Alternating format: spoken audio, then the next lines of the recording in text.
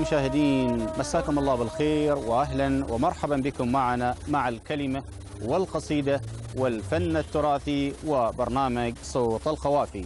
تعالوا الآن لنبدأ هذه الحلقة ونبدأ بهذه الفقرة التالية.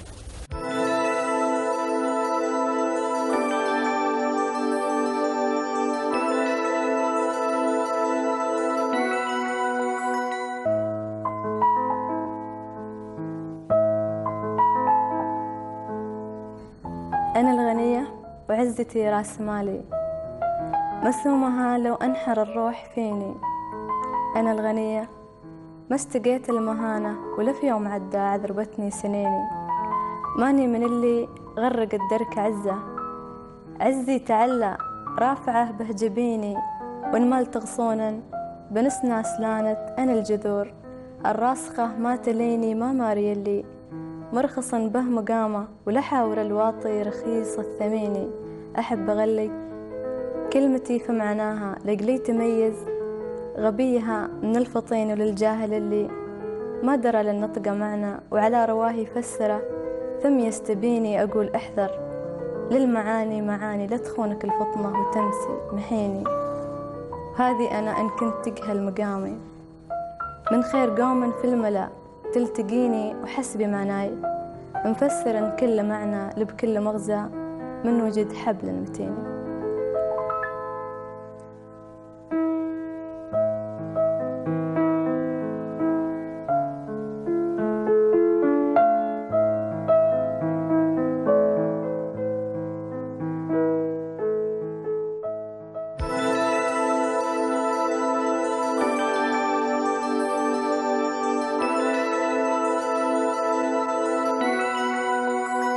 أعزائي المشاهدين أسعد الله أوقاتكم بكل الخير وأهلا ومرحبا بكم معنا من جديد في برنامج صوت الخوافي.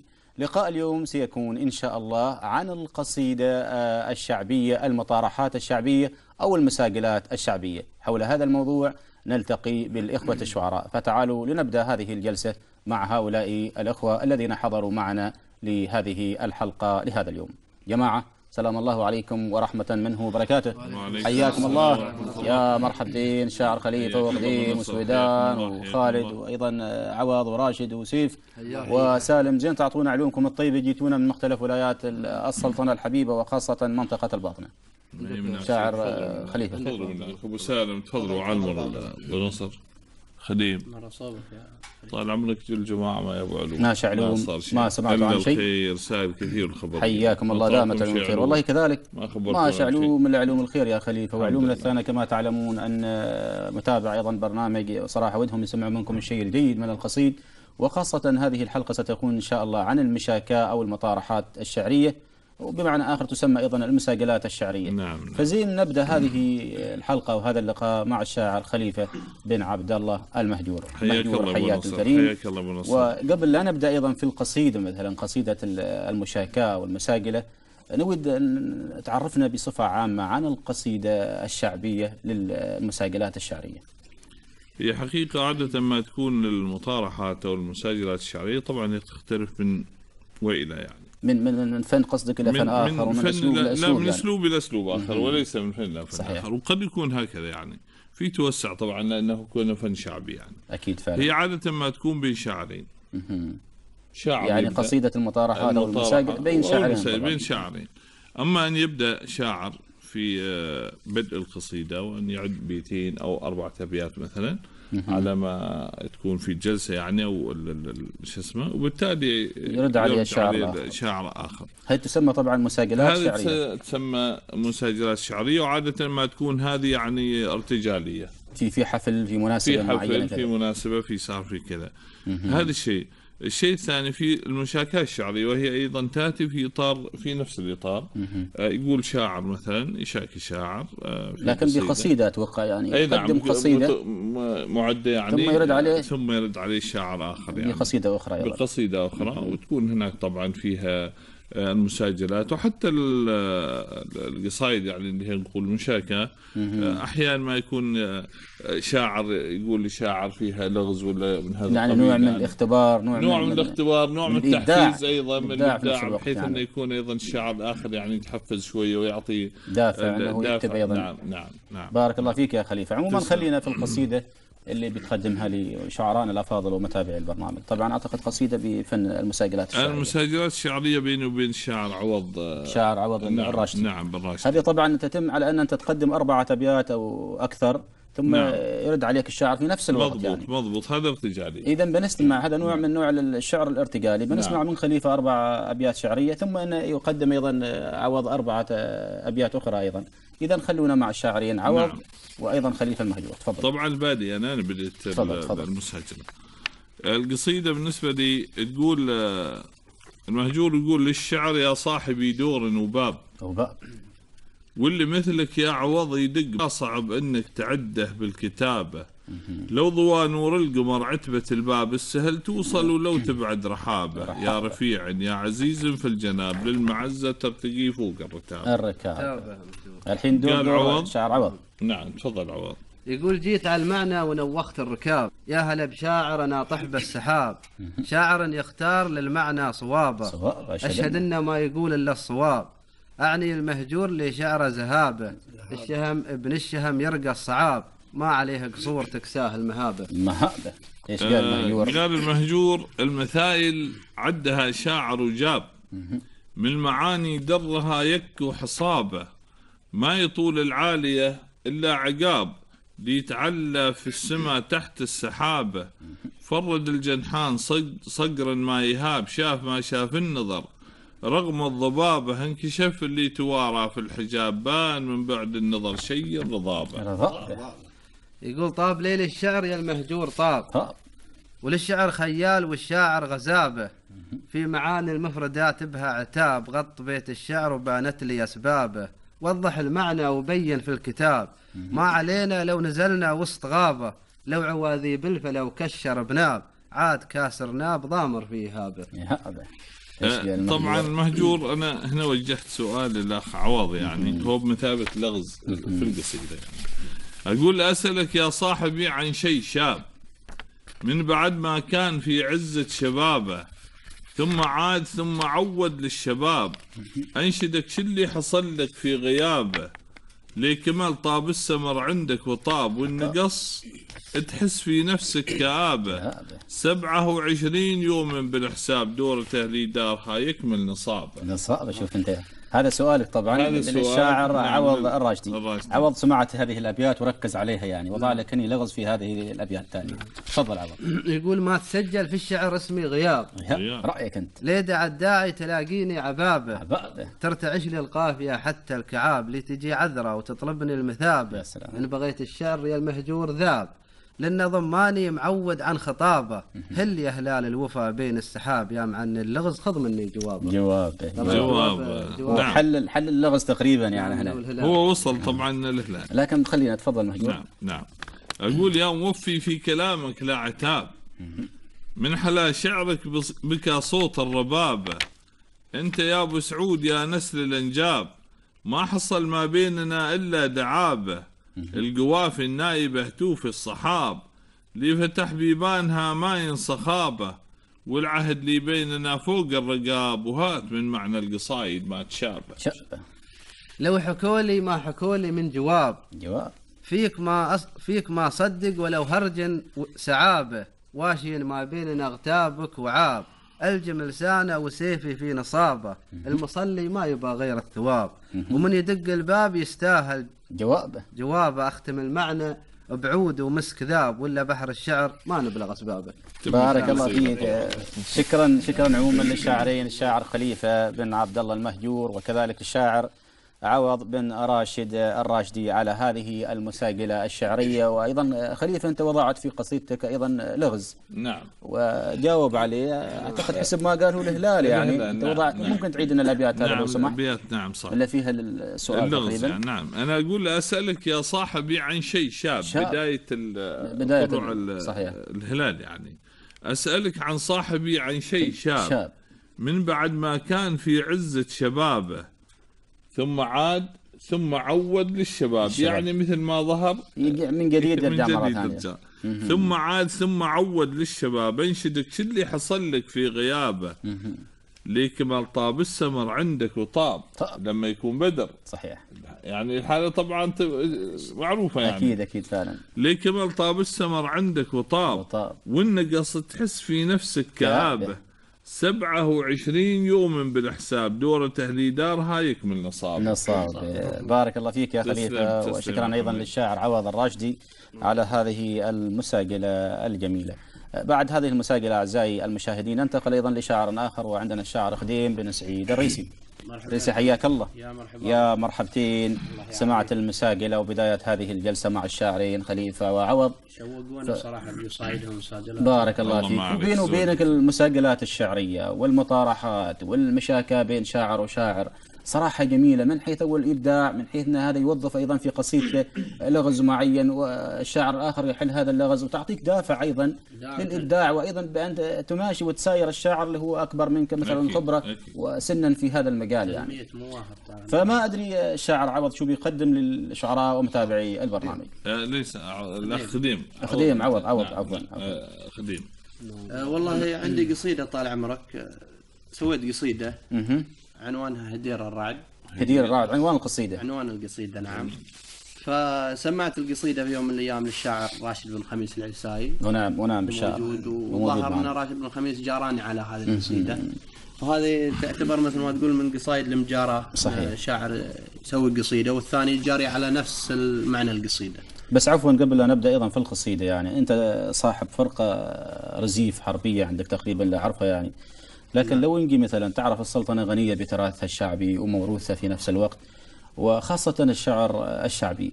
آه، تجد هناك أيضا عندنا الرزحة مثلا والحربية أو الرزيف وفن التغرود يعني. هل يعني بالنسبة للرزيف يكون في مساقلات شعرية؟ وخاصة الشعر الارتجالي أثناء ما تكون مثلا الحربية تقام أو آه، الرزيف يقام في نفس الوقت. كثيرا كثيرا كثيرا. محمد واساسا الحربية طال عمرك هي تعتمد على الشعر الارتجالي الارتجال في نفس الوقت. ودائما تصير مساجلات بين شاعرين. يا ان مثل ما تقول أن الشاعر يا يضيف والشاعر الموجود في المكان يرحب بالضيف هذا. صحيح. ويصير بينهم مبادلات تراحيب. أها في أو البداية يعني. في البداية. أو إذا كان في موضوع معين مثل ما تقول آه، يطرح الأول موضوعه والثاني يرد عليه يرد. عليه في نفس عليه. الموضوع. أو مثل ما تقول في الألغاز يعني تشمل مواضيع كثيرة ولكن أساسا هي مساجلة بين شاعرين. وتكون ارتجالية. صحيح. هذا بالنسبة لفن الحربي. فن الحرب فن أيضا. فنون الرزحة أيضا فيها أيضا نفس الشيء. وفنون الرزحة. التغرود أتوقع. وإن شاء الله هي سمة من سمات الشعر الشعبي. بصفة عامة نعم صحيح نعم. سمة من سمات الشعر آه، خديم الرئيسي تفضل نستمع. هدير الرعد. هذه قصيدة طبعا مشاكاة للشاعر راشد بن خميس العيسائي هذه و... وانت الصادق قصيدة مش إنها قاصدة مشاكاة لكن قصيدة و... نقارة كذا يعني. وراشد بن خميس جار على هذه القصيدة. جميل جدا. هي نوع من من من ال- ال- المساقلة المطارحة يعني. أيضا تعطي الواحد دافع إنه يكتب و ويساير أيضا زميله في في مثل هذه ال- القصائد نعم. أقول آه، ضاقت الدنيا الوسيعة وباقيين عندي سؤال. من متى يشرى الكلام وينطعن ظهر الصديق؟ شوف أنت. من متى للشمس عيب شروقها فوق الجبال؟ من متى للغدر ذمه تمسك الحبل الوثيق؟ ثيق ما حسبت الشهر إلا ما حسبت الشهر إلا يوم طالعت الهلال. وما وقفت أقرأ الطوال علينا ما ضاع الطريق. عزي بعز الشوامخ والروابي والرمال. أنتمل دم العروبة والمداين والفريق. عزي بعز الشوامخ والروابي والرمال. أنتمل دم العروبة والمداين والفريق. مع مهب الريح صوتك يا هدير الرعد. طال السلام ومن يشله ينشرح ما يستضيق. ما تبيع العز كلمة وتذبح الكلمة رجال وكل قطرة دم فينا تحفظ الماضي العريق. العريق والله ما تبيع العز كلمة وتذبح الكلمة رجال وكل قطرة دم فينا تحفظ الماضي العريق. كل واحد له طبيعة. وكل مقام وله مقال وساعة تصك النوايب الرفيق ويا الرفيق شرهي ولومي على اللي. شرهي ولومي على اللي عن مسار الدرب مال والحزن أن طالت المدة ولا صح العويق. في المصيبة الناس تبكي وتحتفل في الاحتفال وحال من فوق المراسي غير عن حال الغريق. لو سقى في الأرض دمي وكسرت صدر الجبال مستحيل إني أبيع الشف وأخون الصديق. الصديق. تسلم تسلم يا خديم على هذه القصيدة ما الجميلة. عليكم زود وما أدري يا أبو سالم سمعت الريال يعني قدم قصيدة كذا بنوع والله حقيقة أبو المجاراة نصر، تقريبا يعني. أبو ذياب يتطرق لمواضيع تستوجب الوقفة يعني والمناقشة ويستاهل بينه وبينك يستاهل. حقيقة آه، الموضوع هو اللي تحدث فيه. استوقفنا كثيرا يعني ودار الحديث بيني وبينه. وولد في نفس القريحة إني اجاري في الموضوع يعني. بارك الله فيك. ما تقصر أبو سالم. بنستمع طبعا القصيدة. قلت له- وخديم اسمع معنا أيضا. بس. أقول له تحزن نحره في القصيدة ويعلن احداد الخيال. خيال. موقف فيه الغرابة وينجرح طير طليق. صعب تصنيف الإجابة وسهل تحديد السؤال من متى الغارق يثاب وطايح المنقذ غريق. صعب تصنيف الإجابة وسهل تحديد السؤال من متى الغارق يثاب وطايح المنقذ غريق. ما على الشاعر ملام ولا علاق وله جدال. يمعن المعنى الفهيم وصايغ المعنى دقيق. تصنع الدنيا التجارب والفعل صنع الرجال. ما غريب العز يضفي صاحب الأصل العريق. اي والله اي والله. تصنع الدنيا التجارب والفعل صنع الرجال. ما غريب العز يضفي صاحب الأصل العريق. دام دنيا وسيعة ويتسع فيها المجال ما علينا من غدرها وبيننا حبل وثيق. دام دنيانا وسيعة ويتسع فيها المجال ما علينا من غدرها وبيننا حبل وثيق. تشرق الشمس بضياها وتتجه من الزوال شو الغرابة والمصلي قبل تلبية العتيق؟ تشرق الشمس بضياها وتتجه من الزوال. شو الغرابة والمصلي قبل تلبية العتيق. كلنا جاهو مهابه نرتدم صر وشال. بيننا حسن التآخي والنسب عمه وشقيق إي والله. في ملامحنا الأصالة والعراقة لا تزال. روحنا في جسد واحد لو يباعدنا الطريق. ما تزيننا الفلوس ولا يزيننا الجمال. نرتدي ثوب المعزة ونظهر بمظهر أنيق. ما تزيننا الفلوس ولا يزيننا الجمال. نرتدي بثوب المعزة ونظهر بمظهر أنيق. من متال الشهر يبدأ غير إنشي في الهلال ومن متى نلقى الجواهر غير في البحر العميق. من متى الشهر يبدأ غير إنشي في الهلال ومن متى نلقى الجواهر غير في البحر العميق. اترك سيوف الليالي تقطع خيوط الليال. لين تبكي العين غصة وتذرف الدمع الدفيق. لو تكسر قفل صدري وما قوى حمل الجبال. عزتي من عز ربعي واتخذ منهم صديق. تسلم. تسلم ابو الأخوة سالم. بارك. الله فيك. بصحة لسانك على هذه القصيدة. سمعت يا خديم رده كان أيضا أو مقاراته في هذه. القصيدة وكان في محلها أيضا. شاهد الله كفه والرجال كأنه عارف ال- ال- الآهات والأشياء اللي يعانيها الشاعر في قصيدته. طال يعني. عمرك آه، بارك الله فيك عموما. أبو سالم شاعر طال عمرك وما عليكم زود الله ويفهمها. مثل ما يقول. المثل هي وطايرة. بارك الله فيك. بارك الله الله فيك يبارك فيك.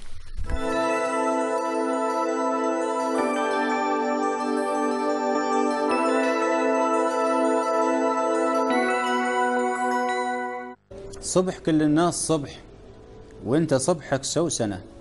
لو ربي انت صبحك كل أطياب الزهور يكفي إن الشمس قد قبل صبح تعلنة تسرق من الليل وقت وتسألك لو بعض نور. هذه الإطلالة والأبيات الشعرية لضيفنا الشاعر فهد السعدي. شاعر فهد مساك الله بالخير وأهلا ومرحبا بك معنا في برنامج صوت القوافي. أهلا وسهلا ابو نصر حياك الله. الله يعطيك يا العافية. مرحبتين. حياك الله. الشاعر فهد عرفنا على مشاركاتك الشعرية في بداية هذا اللقاء. والله يا أبو نصر أنا مشاركاتي كثيرة. أو أبرزهن يعني. هو المهرجان مهرجان الشعر العماني الثالث اللي أقيم في صلالة اللي حصلت فيه على المركز الأول. وبعدها أمسيات. امسيات في عدة مناطق مختلفة في السلطنة وغير الامسيات أيضا مسابقات على مستوى الهيئة ومستوى السلطنة. هذه مشاركاتي طيب بعد التجربة الأولى وفوزك بالمركز الأول هل واصلت المشاركة في مسابقات أخرى وحصلت على مركز متقدم؟ بعد مهرجان الشعر العماني. الحمد لله شاركت في مسابقات نظمتها الهيئة العامة للأنشطة الشبابية والرياضية وحصلت على المركز الثاني في مسابقة المسابقة كانت المسابقة المحلية وأيضا شاركت في مسابقة أخرى نظمتها أيضا الهيئة وأيضا حصلت على المركز الثاني. زين نستمع شاعر فهد السعدي قصيدة منك لمتابع البرنامج واللي بيتابع أيضا فهد السعدي. زعولة وشايل الدنيا عراست ما تقولي ليه؟ زعولة وشايل الدنيا عراست ما تقولي ليه؟ حديث الدمعة هل لي في عيونك ما إله داعي؟ أنا غبت. ورجعت محمل مبلي تموتي فيه. وشي ساقني لذاك الغياب استعجل رجاعي. أنا ويا الزمان اللي جعلني خاتم في يديه على كومة أحاسيسي شرات الذيب. والراعي يبيني فاقد الشيء الذي لو يفقده يعطيه. وبيه الياحكا يطرق خفوقي قبل أسماعي عناد.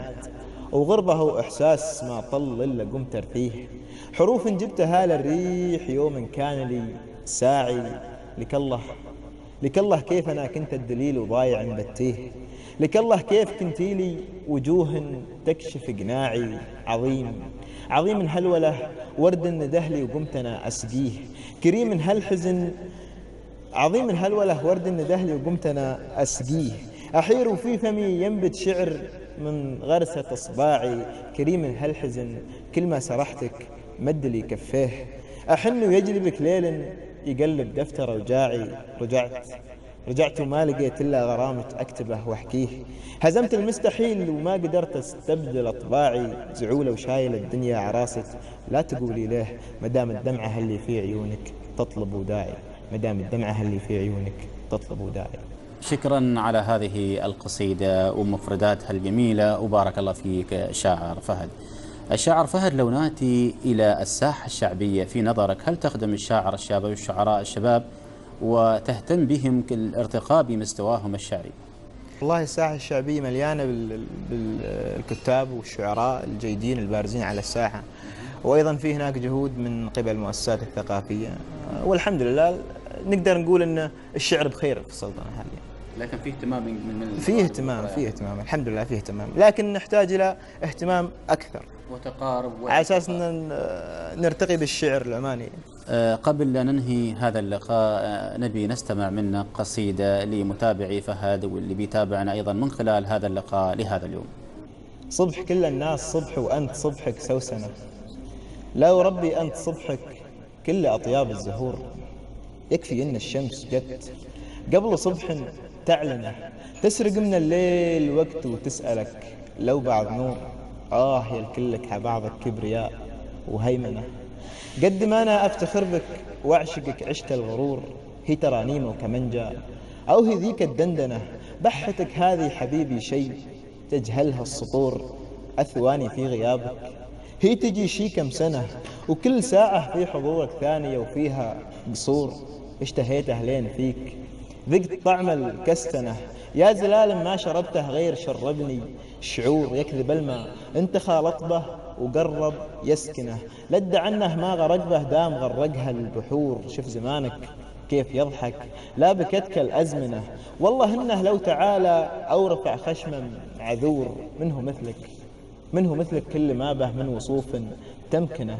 وكل حظ يجيك عاثر قال لعيونك. أثور من على الريح يتنقل لا مشى واستوطنه. هالثرى لين يتبسم بالزهر غيرك؟ يا نور يا حلوك بثوب ثقلك أو لباس الشيطنة. جيت جدة وجيت مزح أنت سيد بالحضور. يا أكلي أتعبتني بالجراح المثخنة قبل لا ألفت تسافر بي وحاسيسي تبور كل ما جيها بشاير جت تسوق المحزنة. وكل ما جنبت عنها أقبلت مثل البخور أو كما غيم ترزم. شوف صحراي افتنه. وإن طلبت الغيث عيا. بس أنا أبقى صبور مدري قلبي اللي يتخدر ولا روحي مدمنة. المهم كلي ع بعضي فيك بالحب. مأسور أعتذر لك عن صباح جاك مني سوسنة. أنت صبحك يا حبيبي كل أطياب الزهور. شكرا شاعر فهد على هذه القصيدة. كما أن نشكرك أيضا على هذا اللقاء. ونتمنى بأن نلتقي بك إن شاء الله في لقاء قادم. شكرا شاعر. العفو أستاذ. أعزائي المشاهدين لا زلنا نتواصل معكم مع فقرات البرنامج وقصائد الإخوة الشعراء.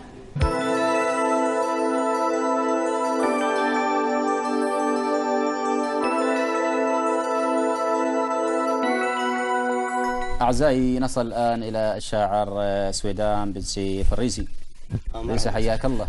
يا مرحبتين. ما أدري طبعا أنت محضر شيء من من المطارحات أو المساقلات الشعرية للشعراء. سمعت القصيدة من من خليفة وعوض وأيضا خدين وأبو سالم ونشوف أيضا الشاعر الشعراء وكل الريسي في الحقيقة عندي مشاكاة موجهة للشاعر سيف المعمري ونعم ونعم والله بالمعمري شاعر سيف موجود. الله طال عمرك. وفي حلقتنا بيني وبينك اليوم كلها عن المساقلات والمطارحات الشعرية إن شاء الله. وهذا شيء طيب بعد. تفضل نستمع. يقول أبطيت يا جرح سطابي وتمكنت. تمكنت. صبري عليك يفوق جملة حسايبه الله حسيبك في الخفايا توثقت وأكثر جروح القلب سبت حبايبه أثر علي من جف الشوق وسهرت ما طاب لي وقت وليام طايبة. أثر علي من جف الشوق وسهرت ما طاب لي وقت والأيام طايبة ونمر بي ذكرى الليالي تذكرت ذيك السنين اللي قريبة قرايبه يرحمك يا وقت مع انه سافرت وعماد بيتك ما تطيحه. هبايبه خيمة على ذيك الغراميل شيد. بيت جودي والجود كل طلايبه سلام الشاعر. خيمة على ذيك الغراميل شيد بيت جودي والجود كل طلايبه ما بين رضان المكارم تجولت. لا شك فيك الطيب بعلى رتايبة. يا ما تمنيتك زماني. وبك كنت عكس التمني وللأسف هم غايبة قم ذي بني يا سيف والله تمشكلت بمحدثات الوقت شبت لهايبة قم ذي بني يا سيف والله تمشكلت بمحدثات الوقت شبت لهايبة أنا بزماني وللأسف به تغربت. كل يوم تفجعني حوادث غرايبة كود الليالي من قساها تعلمت أجرح وداوي وكان عندي طبايبة. كود الليالي من قساها تعلمت أجرح وداوي وكان عندي طبايبة وكني وصلت دوامة الهم. حولت الله وكيلك صب فيني مصايبة. سلمت لأحداث الليالي وآمنت بأن القدر ما هو بلعبة وسايبة. أي والله أي والله. سلمت لأحداث الليالي وآمنت بأن القدر ما هو بلعبة وسايبة. لو كان في غزل المصايب تشربكت وبعاديات الوقت تلعب اللعايبة لابد من الأيام تنبي عن الصمت. لو كان ما هانت بحالي نشايبة ما بين نار ونار. والله توهقت دق طبول الحرب وأعلن حرايبة ويا سيف كن سيفي وللشف لا هند. نعم. نفسك سخية وفي الملازم ثايبة فائدة تسلم تسلم. بارك الله فيك يا يا سويدان على هذه القصيدة الجميلة وخاصة البيت الأخير يا سيف.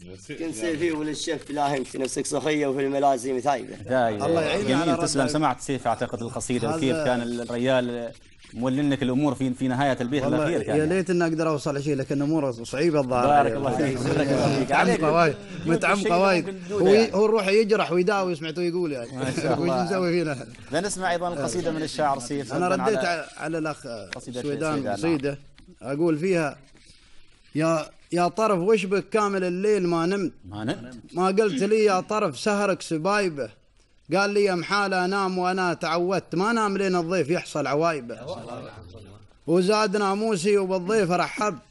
وبشوفة سويدان الافراح طايبه. يا حي راعي الجود والشعر والسمت يا ذخرتي لين الزمان ونوايبه. لا هنت يا سويدان لا هنت لا هنت. ولا دام وقت داهمتنا مصايبه. وصلت يا زاقر على سيف وسلمت. سيف في يمينك كل ربعة وقرايبه ونعم ونعم. وصلت يا زاقر على سيف وسلمت. وسلمت. سيف في يمينك كل ربعة وقرايبه مطيع لك لو كان على الموت أشرت. ولا تنفع خصمك جموعة وكتايبة. يا- لكن تشكي يا صديقي من الوقت. الوقت لو غيم بتصحى سحايبه يا سلام يا سلام. لكن تشكي يا صديقي من الوقت. الوقت. الوقت لو غيم بتصحى صحايبه لا تفتكر انك وحيد انت غربلت لو شفت روس اطفال من الوقت شايبة. إي والله إي والله. اصبر ولو حسيت انك تغربت يا كم صابر وصل لنا ركايبه ما دام بالاقدار ميقن وآمنت خل الزمن يمضي ويلعب لعايبه ما دام بالاقدار ميقن وآمنت خل الزمن يمضي ويلعب لعايبه لا تعتقد في يوم انك توهقت. أشوف خطواتك صحيحة وصايبة. واللي جرحك ومن جروحه تأثرت. يا مكثر عقول من الود غايبة. إن كان يا الشاعر في قلبه تمكنت ما ظنتي المحب ينسى حبايبه. لو جارت الأيام حافظ على الصمت وخلى الحسود تشتعل سلام لو جارت الأيام حافظ على الصمت وخلى الحسود تشتعل بلا هايبة هذا الهوى منا كثيرا تعلمت ضربة تصيب وعشر ضربات والله اي والله هذا الهواء. هذا الهوى منا كثيرا تعلمت. تعلم ضربة تصيب وعشر ضربات خايبة والله إني من مقالك تذكرت. والله إني من مقالك تذكرت. موقف خطير وشفت موتي بسبايبه.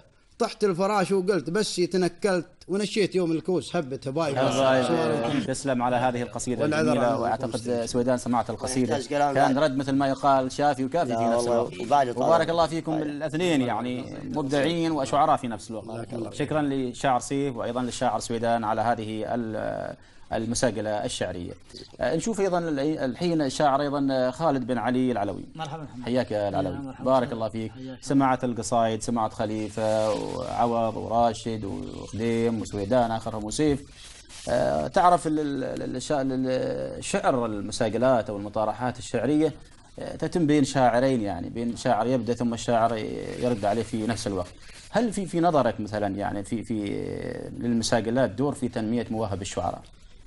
أكيد المسجلات في حد ذاتها حدث. حدث تفاعل حول صحيح. قضيه ما حول أي موضوع يطرح.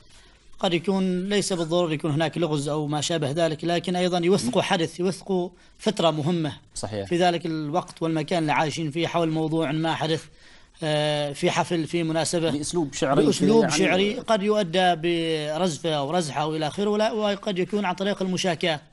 استفسار عن غياب هو تحفيز الشاعر لما يشاكي الشاعر الثاني أو يطارحه أو يساجله يحفزه على صحيح. الإبداع على الرد على التفوق على مجاراه الشاعر هذا. والإبداع في نفس إذا الوقت كان يعني. إذا كان غايب الفترة قد يكون استفسار عن البعد عن الغياب إذا في مشكلة إذا في آخره. وفي أيضا إيحاءات وإيماءات ما بين الشعراء انفسهم وهو من الفنون ومن الأساليب الجيدة في الشعر اللي تنمي الشعر وتنمي الموهبة الشعرية لدى الشاعر. ما في شك في هذا المجال. بارك الله فيك يا خالد. إذا خلينا في القصيدة اللي بتقدمها للشعراء ومتابع البرنامج والله أنا عندي ح- حوار مع الذات أو مساجلة مع الذات يعني حوار مع مع الذات ذاتك المساجلة يعني. مع, مع ذاتي. نفسك ما بنفسك يعني مع رجال ما بيشتكي لأحد يعني وهذا مرة. زين بينه وبينك يعني همومه بك لا. يعني. فعلا. تفضل يا خالد ما تفضل حبينا نصدع الشعراء فيكم الله يخليك. بارك الله فيك خذ راحتك القصيدة بعنوان بقايا حلم خذ من عيوني بقايا الحلم يبحر به سفينك وخذ من دموعي بحر لا من شعل تطفيت ناري. وخذ تفاصيل الجروح المبهمة واسمع أنينك كل أبوها كلمتين إن قلتها آسف وساري. خذ من عيوني بقايا الحلم يبحر به سفينك. وخذ من دموعي بحر لا من شعلت أطفيت ناري. وخذ تفاصيل الجروح المبهمة واسمع أنينك كل أبوها كلمتين قلتها آسف وساري. ما سألت مرايتك ليه انكسر فيها جبينك؟ ليه ترميك الحظوظ في وجهها والحظ عاري؟ ما سألت مرايتك ليه انكسر فيها جبينك؟ ليه ترميك الحظوظ في وجهها والحظ. عاري؟ وما سألتك عن تفاصيل الدموع اللي في عينك. وما سألتك عن تفاصيل الفصول اللي في عينك. ليه وضلوعي جفاف وينبت شعوري صحاري. أمس وعيون الصغير يغذي بحلمه حنينك. لين صار أكبر من عزومه وصار الجرح طاري. أمس قلت أقلب موازين القوى وأدخل عرينك. وانهزم فيني شجاع الوقت وأعمان اختياري. وانفتح للريح أبواب الحديث وبل طينك. نامت عيونك مدينة ما ستر هلا جداري. جيت تسأل عن ورود الأمس اللي خانت يدينك لو بقال الأمس وردة ما فقد باكر مداري خذ من عيوني بقايا الحلم وإن أبحر سفينك لا تنادي للشواطئ والمسافات انكساري. كساري تسلم. تسلم الشاعر خالد بن آه، علي العلوي على هذه القصيدة. وبارك الله فيك. بعد خالد العلوي أعزائي عندنا أيضا سالم بن جمعة الهنداسي حياك. هنداسي حياك الله. حياكم الله. يا مرحبتين. آه، تعرف ال- ال- جلستنا اليوم كلها عن المشاكاه والمطارحات الشعرية والمساقلات لكن سالم قبل يعني إذا أنت ك- آه، مقدم قصيدة لشاعر مثلا واضع في هذه القصيدة لغز مع- محدد أو معين قال رد ما رد إيجابي بالشكل اللي تريده أنت يعني كيف يكون شعورك كشاعر؟ والله هو الشعور يكون شعور طيب اتجاه الشاعر ذاته يعني لكن هي لها نظرة القصيدة بالذات يعني أرى أن ال- قال شيء مثلا قصيدة ربما يكون نطلق عليها قصيدة ركيكة مهم. فيها نوع من الركاكة مثلا رد على القصيدة على الشاعر نفسه أن قصيدته ما جيدة أو كذا وأروح أرجع عليه بقصيدة أخرى لا أنا أقتنع بما قاله هو. أقتنع يعني وأيضا احفزه انه يقول الأكثر والأكثر يعني تعتبر هذا مستوى الشاعر مثلا نعم، ولكن نعم. من ناحية أن شعورك أن شاعر جيد وممكن يوم من الأيام أن أكيد، يكون في أكيد، مستوى أفضل أكيد، وأحسن إن شاء الله أكيد. جهد ويقدر هذا هذا فعلا فعلا, نعم، فعلا. نعم، نعم. طيب ما أدري إيش بتقدم للمتابعي البرنامج والشعراء الأفاضل قصيدة حقيقة آه، هي ما لها مهم. آه، ليس بالمشاكاة ولكن في يوم ما وقلنا هذه الأبيات تفضل يعني. تفضل سالم. جتني الأوامر يا محمد واصدرت واستغفر من شروط ملزمة تلقيتها فورا ونفسي باشرت للعمل والواجب والطنان أخدمه ويوم الثلاثاء للرحيل تجهزت جهزت. جتني الأوامر يا محمد واصدرت واستغفر الله من شروط لزمت لقيتها فورا ونفسي باشرت للعمل والواجب والطنان أخدمه.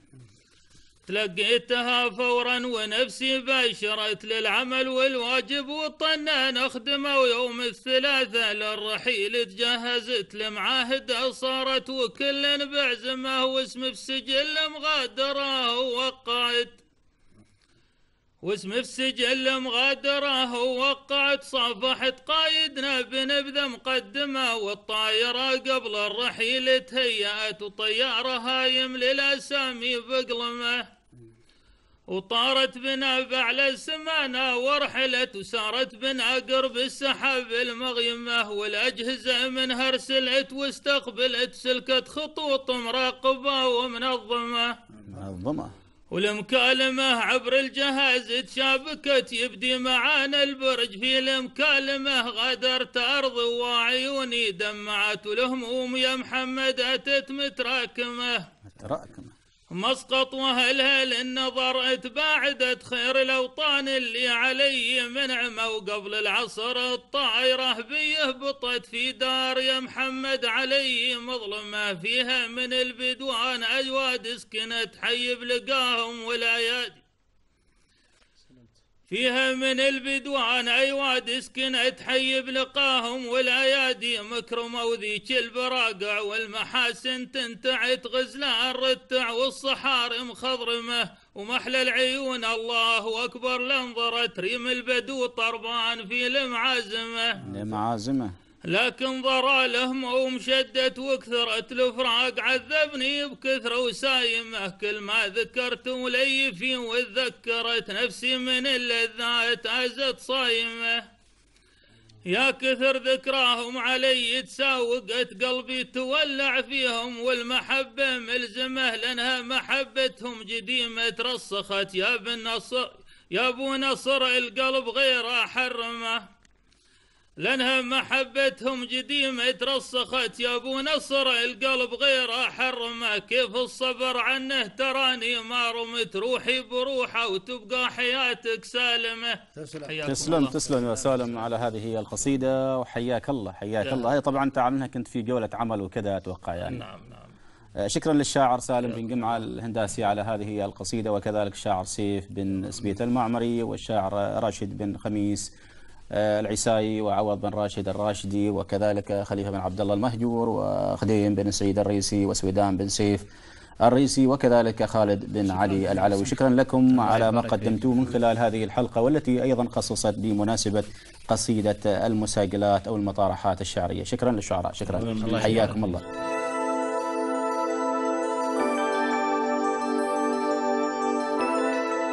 أعزائي المشاهدين إلى هنا ونأتي إلى ختام هذه الحلقة لهذا اليوم.